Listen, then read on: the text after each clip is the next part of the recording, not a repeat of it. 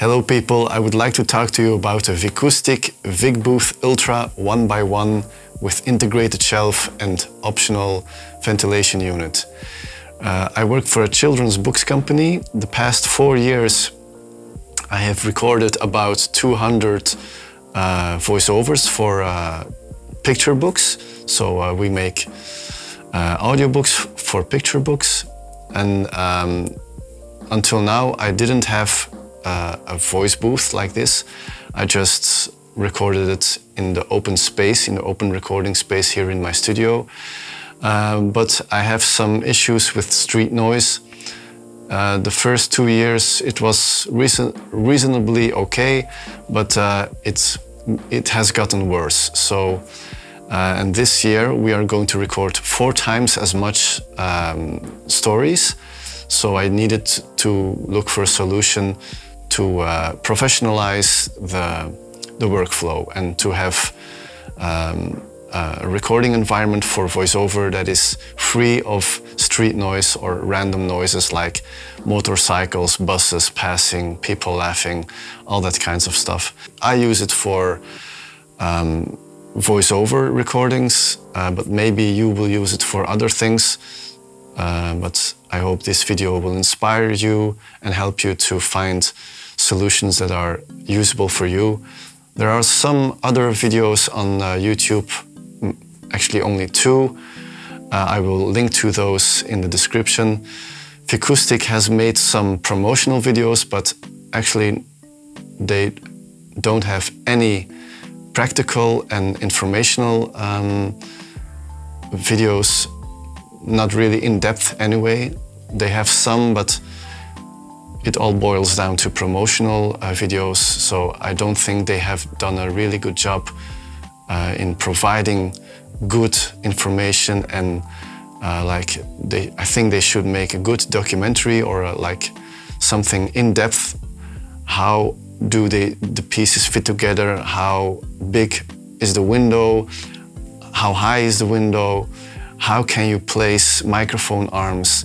What are the different kinds of solutions you could try. They have provided zero information about this. So um, that's why I'm making this video, hoping some other people who would like to buy this uh, get some extra information like this uh, with some help of your audio friends. So um, let's dive into it. Let's see what the Vicoustic VicBooth Ultra 1x1 with shelf and ventilation unit has to offer and how you can use it for your purposes and what kinds of uh, practical ideas you could um, implement. First, the construction of the booth is really uh, very strong. It weighs 200 kilos. The wood panels are made of uh, MDF, so it's really good density to block sound. So the handle of the door is, um, I think, steel or some kind of iron, I don't know, metal. uh, really nicely um, uh, touched here with the logo.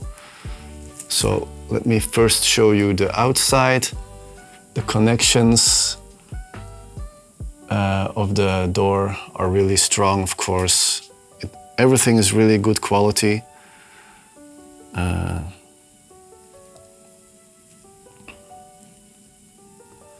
I will try to show you as best as I can with this lens. I will go a little bit further. So this is my studio. You see the booth doesn't take too much space. So there's the street. I have some street noise issues. As I said earlier, that's the reason why I ordered this booth. Here is the screen. The screen on which the voiceover talents can read the text of the books. I will show you in a minute how that is from the inside. So let's go inside.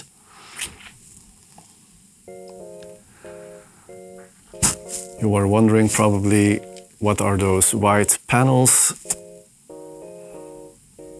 on top of the regular Vicoustic panels. So I ordered these extra um, acoustic panels. And those white things, they uh, were just inside of the packaging of these panels. And they are made of a really dense, some sort of uh, absorbing acoustic uh, material.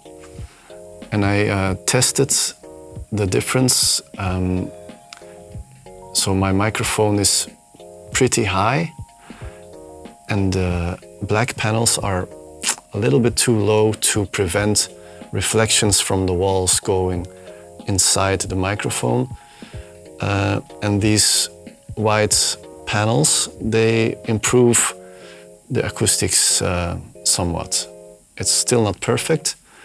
Um, in general, if you expect a perfect acoustic uh, recording in this booth, uh, that will not be possible. It's just too small, even with good ac acoustic absorbing materials. Uh, you, I think you really need to know how to do uh, subtractive equalizing and how to treat a voiceover recording in a good way. Uh, but end results can be very, very professional, but you need to know how to um, work on the sound in post-production. So um, I will show you or let you hear some examples later on. I bought some RGB LED snake.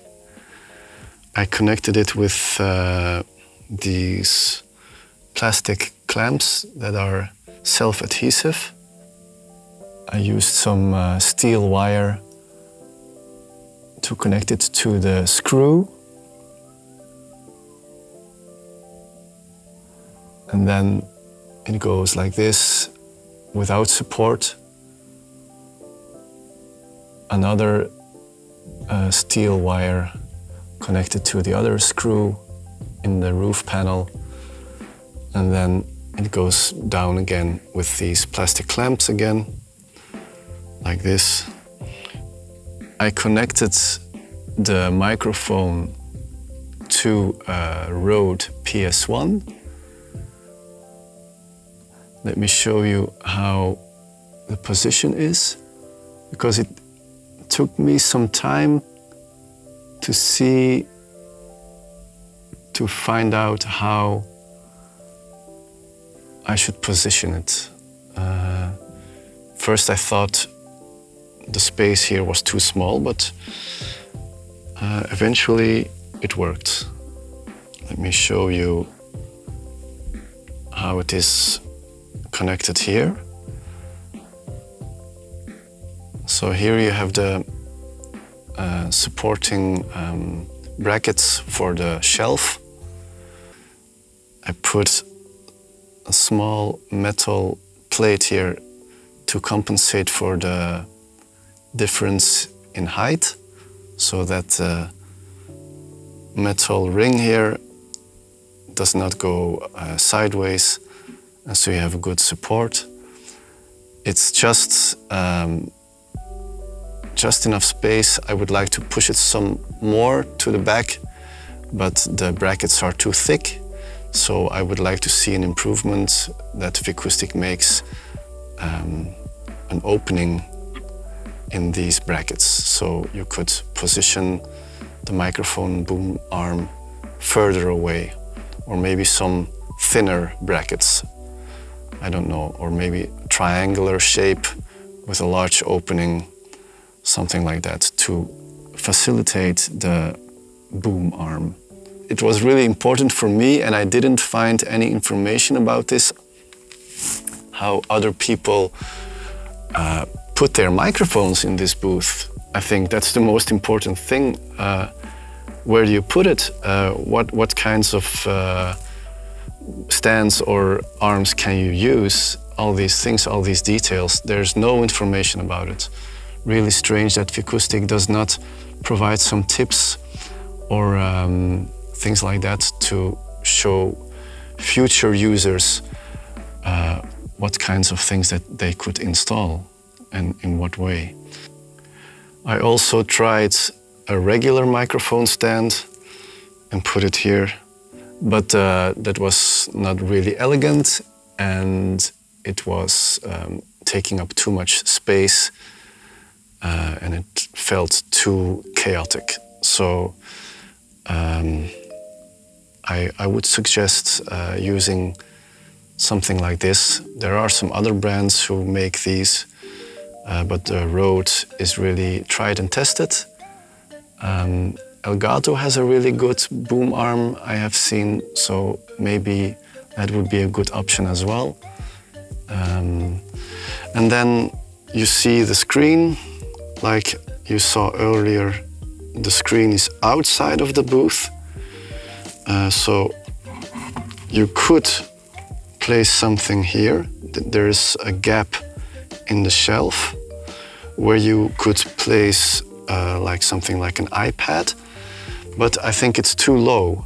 So you would really have to look down when you are reading. And I think that's really strange. So I don't know why anyone would think that's a good idea.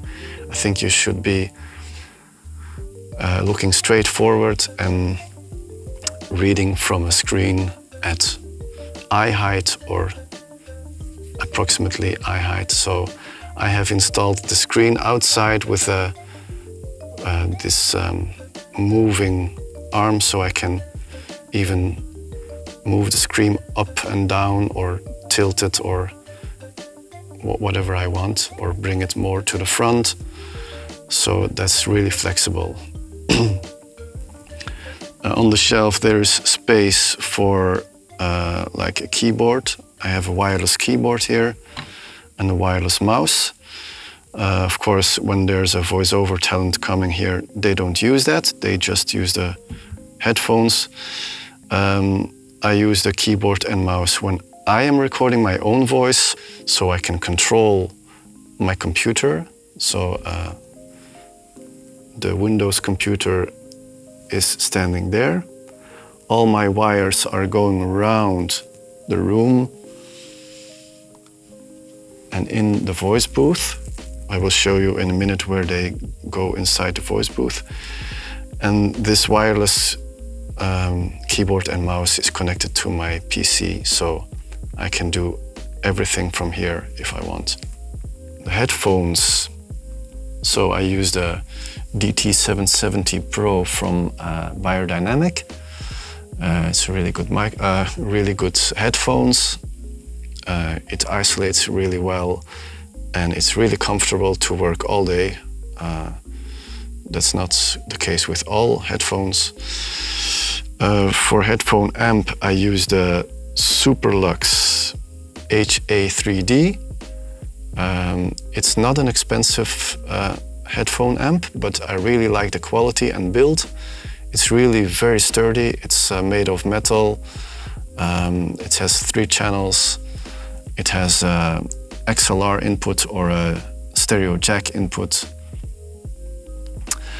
and uh, volume knobs for the voiceover talent to um, adjust the volume as needed. So that's really nice. I connected it with uh, Velcro. So as you can see, uh, you don't see it maybe, yes. So it just uh, with um, Velcro uh, things for um, pedal boards for guitarists I use that to connect it and to be able to um, take it away if I need to.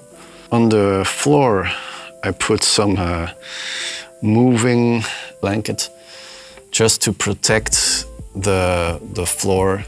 I think uh, after using it one, two or five years, the floor will really uh, have um, uh, will have been damaged just by people standing here. So I would like to uh, protect it and that's why I put this on the ground.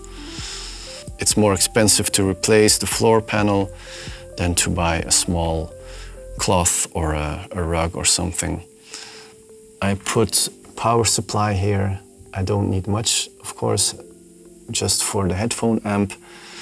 Uh, but there's also a possibility for USB, for voiceover talents to charge their phones or something, or to, to put an iPad there. So here we have um, where the cables come in inside. So you can open this. It's a small plastic lid. Let me try to open it. There's too much cables here, so I need to fidget. Yes, like this. So there's um, here's a acoustic material.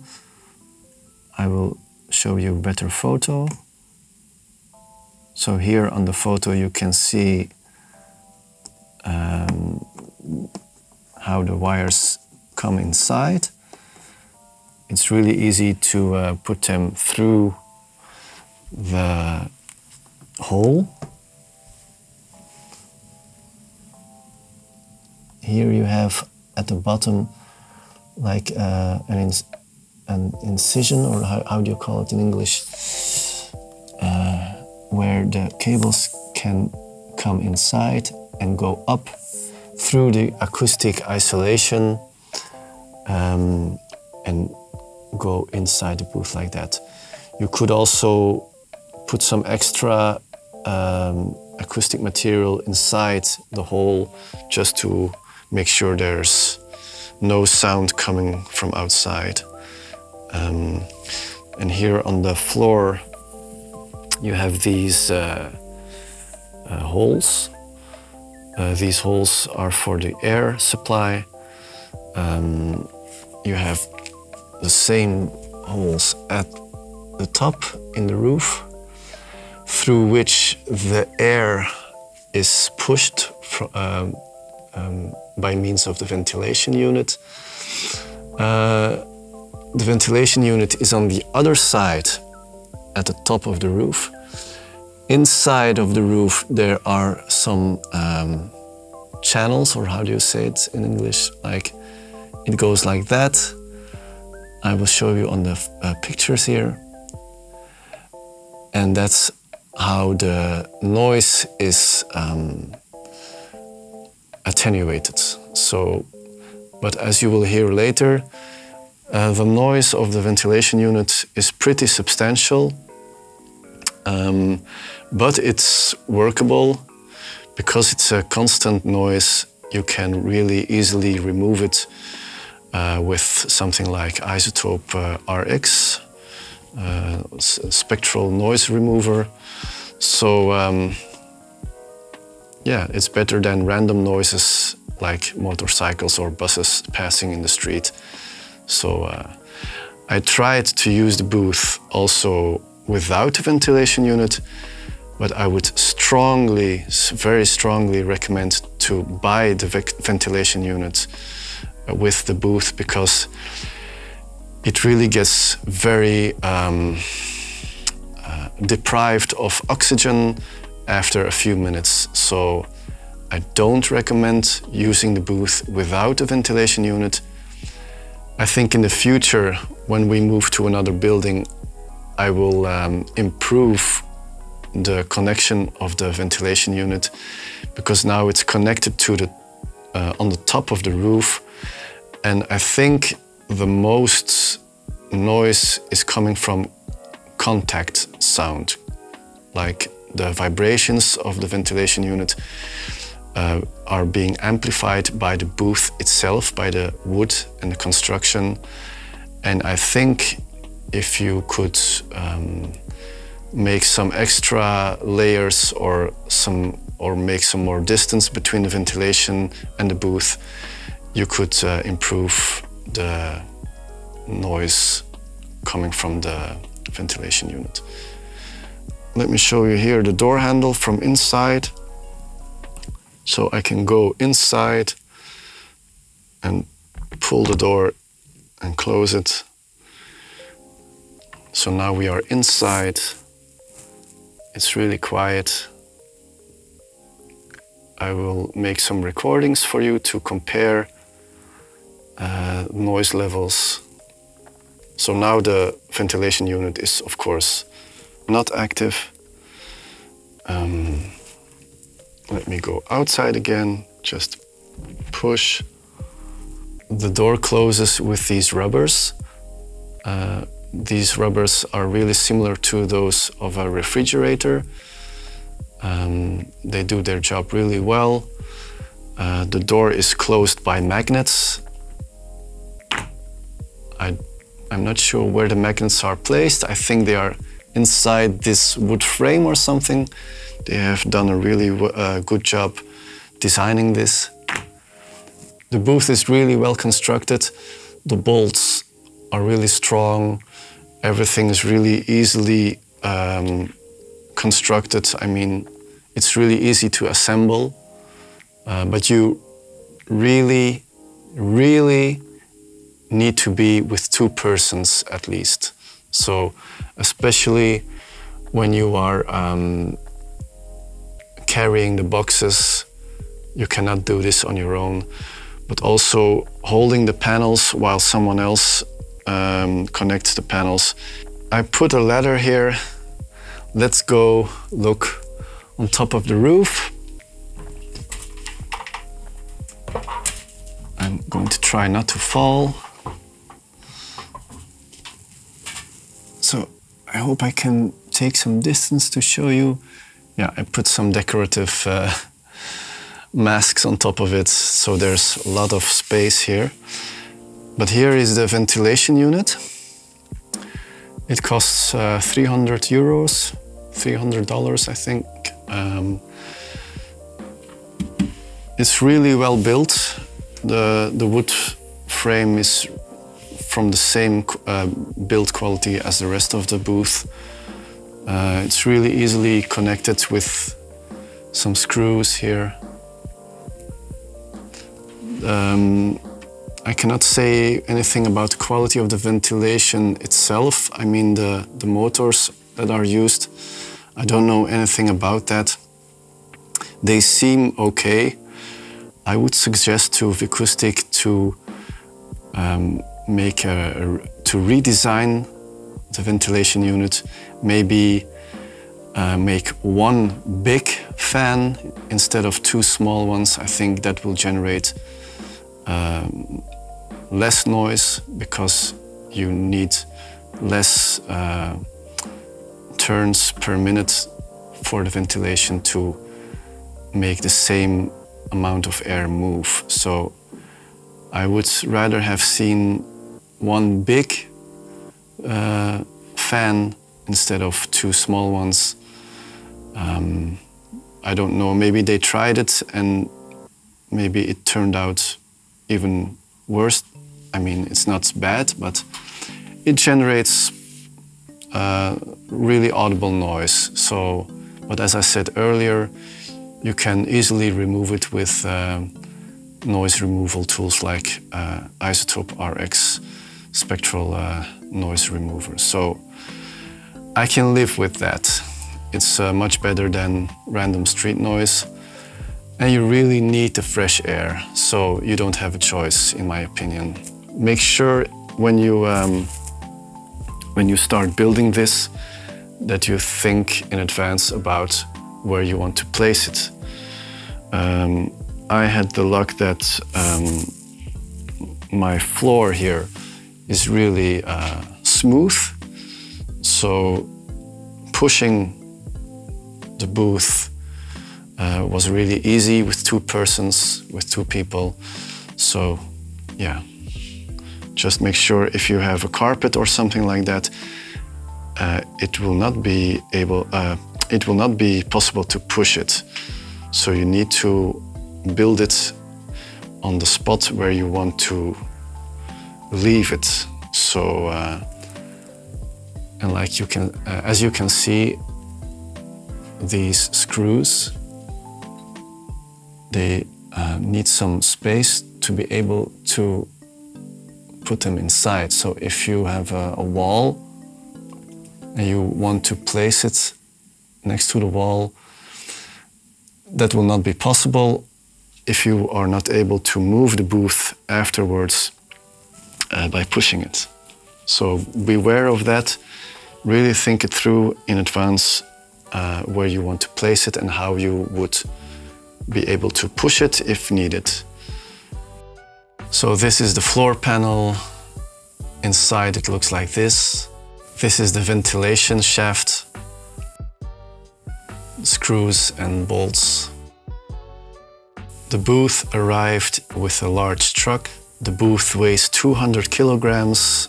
It came in very large uh, cardboard boxes. The packaging was really well done, except for one thing, I think I just had bad luck. The roof isolation panel was damaged. It came out of the box looking like this. Um, the box itself was not damaged, so I assume that the damage was done before packaging. I don't know how that happened and how it is possible that they didn't see it, but we managed to glue it back together and the damage does not affect the sound isolation or anything like that. I did contact uh, Thomann, the uh, provider, I mean the where I bought this uh, unit. So I hope they can send a replacement so I can replace the roof panel so it looks uh, perfect. The cardboard boxes were really heavy, so you need to be with at least two people to carry these. Unloading the truck, we were with five people, and that really went very smooth. So really plan this um, delivery in advance, think about it, how you are going to do it. Uh, we spent, I think, four or five hours um, building this thing. Of course, we did not only build this, we also connected the screen to the wall and some other details around the booth in the studio. Uh, and we lost some time with gluing the panel, the roof panel. So in normal circumstances, you should be able to build it in four hours. Make sure you have the right equipment with you and that you have everything you need uh, and more, because sometimes there are some unforeseen circumstances. One important tip I can give you as well is these plastic brackets on which the acoustic panels rest. They are of really bad quality. That's the only thing I can say about the booth that is really bad. I think they urgently need to redesign these uh, brackets and choose a more sturdy plastic or aluminum uh, brackets or something like that. One of uh, the brackets I used uh, broke, split in two. One of the acoustic panels fell down on one of these brackets. I noticed that you shouldn't screw the plastic bracket all the way to the end. You should leave some room for the plastic bracket to move so that there is no tension on the plastic. The space keeper for the bracket is too small, so the bracket goes a little bit sideways and when you screw it too tightly, there will be tension on the plastic and then if something hits it, it just breaks. We managed to repair the bracket with some super glue reconnected it to the wall, and now it's fine. So there's no um, problem. But it was really strange because they didn't provide spare brackets. All the other parts, like the bolts and screws in the building package, for all these other things, they provided spare parts. In case you lose one, you still have some uh, spare ones. So now let's go listen to some examples. I have recorded some audio inside the booth without the ventilation unit running, with the door open and with the door closed. I have also made some recordings without the ventilation unit active, recording a voiceover just to show you how it sounds. This recording is just unprocessed. This is a teeny tiny test to see how it sounds without the ventilation unit on. And this is the same recording with post-production processing to show you what you can achieve in the end. This is a teeny tiny test to see how it sounds without the ventilation unit on. The ventilation unit has three speeds, which you can set with a small knob that is connected to the cable. Vicoustic recommends putting the ventilation unit at maximum speed. That's also my recommendation. I tested it at the other speeds as well. The noise difference is not that big and you really need the airflow uh, that is produced by the maximum speed. And as I said, the difference in noise is not that big that you would want to choose one of the lower speeds. Here is a recording with a ventilation unit at maximum. First you will hear just only the noise of the ventilation unit and then you will hear a voiceover talking. This is another teeny tiny test to see how it sounds, but this time with the ventilation on at maximum speed. And now the same recording with noise reduction. I use iZotope spectral denoiser and the results are really clean, I think. This is another teeny tiny test to see how it sounds, but this time with the ventilation on at maximum speed. Here you see my studio before the booth was uh, being installed. Really messy, all my stuff uh, lying around. But then eventually, when the booth was installed, I managed to clean up and now it looks like this. So, my final conclusion about this product, the Vicoustic VicBooth Ultra 1x1 with shelf and ventilation unit. First of all, price-quality ratio is excellent. The build quality is really excellent. The design is really excellent. Um, I think the noise reduction uh, is also very good. One lesser thing is maybe the acoustic quality inside. Um, there is some comb filtering happening, but if you know how to use an equalizer and use subtractive EQ, you will be able to compensate for that. Apart from that, uh, I think it's really worth its money, but you should absolutely uh, buy the ventilation unit from day one. It's easy to install, but you need to be with two people at least. So yes, I would recommend this product, but make sure you think it through in advance. Where are you going to place it? Uh, where are you going to put your screen if you need one? All these details, you need to think about it in advance. By the way, this video is not sponsored. I just bought this product and I thought there's so little information.